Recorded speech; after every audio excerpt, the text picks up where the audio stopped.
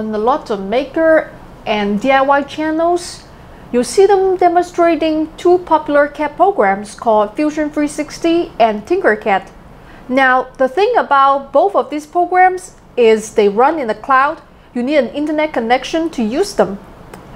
Fusion 360 has some offline functionality, but it has a bad habit of demanding a connection right when you need to get work done. There is a demo of it if you would like to try. The activation does not seem to work in China, and the folks at Fusion 360 were not interested in helping me or helping me demonstrate their software. So we are going to use another CAD package today called Moment of Inspiration. CAD is very personal and I'm sure my comment section is going to fill up with guys saying that this or that is the only real CAD and everything else is waste of time and money. Now I can say my way is the right way or MOI is the best CAD but as they say, if it's stupid and it worked, it's not stupid. So maybe I am using stupid CAD in a stupid way, but I've been able to learn to use it very fast and make a lot of stuff this way. Big thanks to the author uh, of the application, Michael Gibson, for hooking me up with a serial number. Now let me show you how I made my connector in the moment of inspiration CAD program we're in split we're going to 3d and on the right side there are a couple of shapes for you to choose we're going to choose cylinder and place it in the center or region diagram radius you can choose radius or use di di diameter so I'm going to use diameter 3.3 and the height 30 and line it up on y-axis. The next step, I want to duplicate it and rotate it. So let's go to transform, rotate, make copies, select make copies, angle 120. And another one on the right side, minus 120.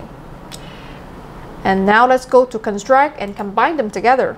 Boolean and U union and select the other two cylinder done now they are all three in one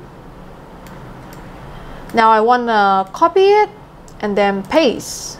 So now I have two and I'm going to move one up to about six there. And the bottom one and move it up about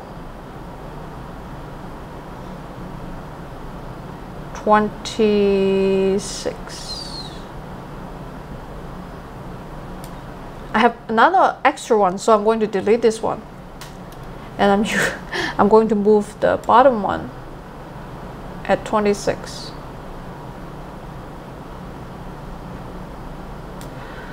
okay now we are going to um, select cylinder again and place it in the center.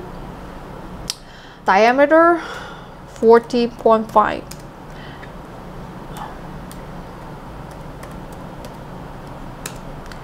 and height is 18 and place it in the center. Now I want to make another one on the top so I select cylinder again place it in the center. Diameter uh, 36 height 12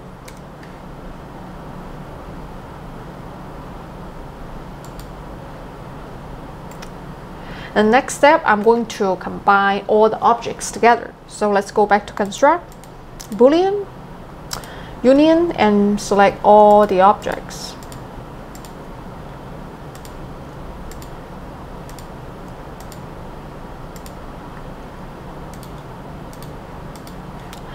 Done.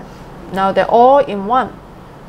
The final step, we're going to select another cylinder, place in the center, diameter 50 and then height is 30 put it right in the center yes now we want to subtract it so that we get the holes on the side so we go back to boolean